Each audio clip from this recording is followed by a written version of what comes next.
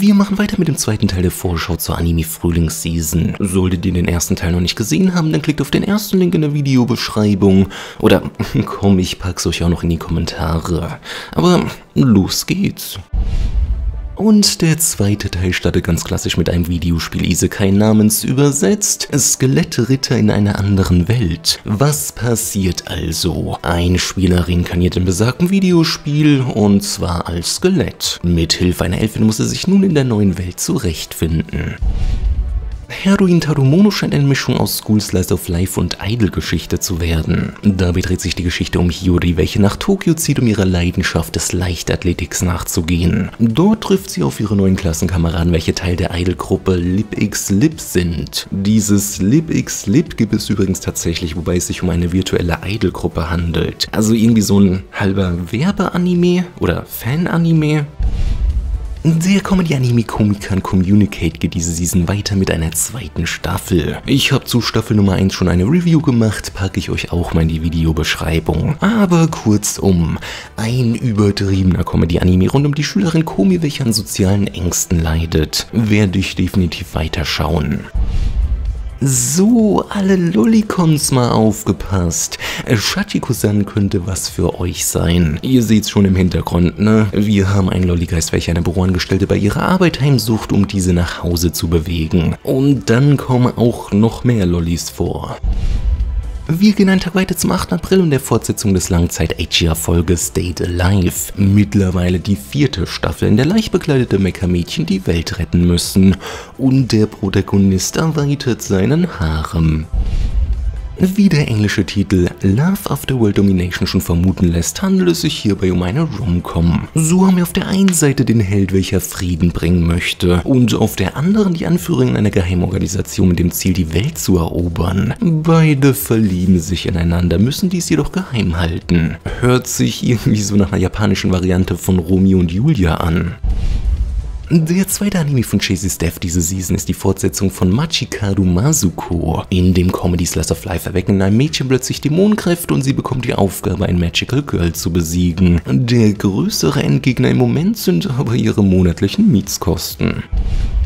Eine Light Novel Adaption mit einem verhältnismäßig kurzen Titel ist Mahutsukai Remake. So gibt es hier in der Welt nach 500 Jahren Krieg zwischen Kirche und Hexen endlich Frieden. Eine dieser Hexen ist die Schülerin Seibi, welche auf die Mission geschickt wird, eine Anti-Hexen-Fraktion ausfindig zu machen. Der Schulleiter heißt übrigens Albus, wenn das mal kein Zufall ist. Da wir noch nicht genug Sport diese Season hatten, gibt es auch noch mit Aoashi ein Fußball-Anime, der jetzt nicht besonders aussieht. Nachdem Studio Mappa zuletzt Attack on Titan gemacht hatte, kommt jetzt mit Dance Dance Danseur etwas komplett anderes. Nämlich ein Drama, in dem ein Junge das Balletttanzen unglaublich gerne hat. Durch einen Zwischenfall möchte er jedoch nichts mehr damit zu tun haben und sich darauf konzentrieren, der, Zitat, Inbegriff von Männlichkeit zu werden. Man kann sich schon irgendwie denken, wie der Zwischenfall aussah und ich finde diesen Zeichenstil unglaublich hässlich, diese großen Augen und diese, naja, diese Linie dazwischen drin. Naja. Der unglaublich beliebte Kaguya-sama oder Love is War bekommt innerhalb von vier Jahren schon seine dritte Staffel. Der Titel der neuen Staffel hat dabei das Anhängsel Ultra Romantic. Es war nur eine Frage der Zeit, bis Spikes Family seine eigene Anime-Adaption bekommt. Der Manga hat schließlich mehrfach die Liste der meistverkauften Manga in Japan angeführt. Das Ganze ist eine Comedy-Action-Geschichte, in der ein Spion mit einer Attentäterin zur Tarnung eine Familie gründet und auch noch eine Tochter mit übernatürlichen Kräften adoptiert. Mit der Zeit wird es dann aber mehr als nur eine Tarnung. Wollte ich schon immer lesen, bin aber irgendwie nie dazu gekommen. Aber wie das so ist, wenn man lang genug wartet, wird irgendwann alles zu einem Anime adaptiert. Ein Tag weiter am 10. April startet die Romcom Kawaii Dake Chanai Shikimori-san. Dabei ist die titelgebende Shikimori die fröhliche, immer nette Freundin von Protagonist Izumi. Doch steckt Izumi mal in Schwierigkeiten, verwandelt sich Shikimori zu seinem Schutz schnell in eine kalte, sehr ernste Person. Ich weiß nicht, irgendwie sieht es ziemlich cute aus. Kingdom Staffel die vierte. Und kommen wahrscheinlich noch weitere.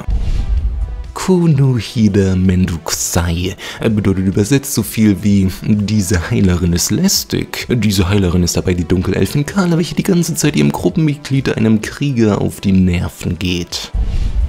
Cute Girls do cute Ninja Things. So leben hier Kunoichi, also weibliche Ninja, abgeschottet in einem kleinen Dorf und müssen einer Regel folgen. Kein Kontakt zu Männern. Doch wie die Natur das so will, interessiert sich die junge Subaki doch immer mehr für das andere Geschlecht. Und Suki ist besser bekannt als Ascendance of a Bookworm, äh, ein Isekai, der am 12. April in die dritte Staffel geht. Ich muss zugeben, noch nicht mal die erste Staffel gesehen zu haben, auch wenn ich wirklich viel Gutes dazu schon hörte. Vielleicht irgendwann mal. Und auch der Original Mecha Kyukai Senki geht weiter. In dieser alternativen Welt wurde Japan erobert und die Bevölkerung wird unterdrückt. Der Protagonist ist dabei ein Widerstandskämpfer, der mit selbstgebauten Robotern für die Freiheit Japans kämpft. Summertime Render in der Frühlingsseason. Naja, bei der Adaption des Manga handelt es sich um eine Mystery-Geschichte, denn als Shinpai zurück auf seiner Heimatinsel ist, merkt er, dass alles sich verändert hat. Die Gesichter wirken fremd, es gehen wirre Gerüchte um und seine Stiefschwester kam auch mysteriöserweise ums Leben. Plötzlich soll es dann auch noch Doppelgänger geben. Hat mein Interesse, um ehrlich zu sein, geweckt, aber das hatte auch damals schon Majoriga und einige wissen, wie das ausgegangen ist. Peace. Und der letzte Anime für diese Season ist Kaku no Inazuka, eine Romance-Comedy-Geschichte, die auf vielen Zufällen basiert. Nämlich Achtung, so haben wir Nagi, der bei seiner Geburt vertauscht wurde und nun nach 16 Jahren endlich seine leiblichen Eltern besuchen will. Auf dem Weg dahin begegnet er einem sehr vorlauten Mädchen namens Erika, die um einer Verlobung zu entgehen, Nagis Fake-Freundin werden möchte. Aber, jetzt kommt's, Erika ist das Kind von Nagis leiblichen Eltern und Nagi Erikas Verlobung Verlobte, da die Eltern durch eine Heirat ihre Familie wieder zusammenbringen möchten. Alles verstanden? Ja, leicht verwirrend, ne? Und das war die Frühlingsseason für dieses Jahr. Ich hoffe, euch hat's gefallen. Ich hoffe, es waren zumindest ein paar Anime dabei, äh, in die ihr reinschauen möchtet. Bei mir war es auf jeden Fall äh, Spikes Family, der Romance-Anime sah ganz cute aus. Der Mystery jetzt hat mich auch ziemlich interessiert. Mal schauen, vielleicht mache ich auch die ein oder andere Review zu einem Anime, den ich schaue. Aus letzter Season muss ich auch noch zwei, drei nachholen. Zeit, wo bist du? Aber ja, vielen Dank fürs Zuschauen. Wir sehen uns dann beim nächsten Mal wieder. Ciao.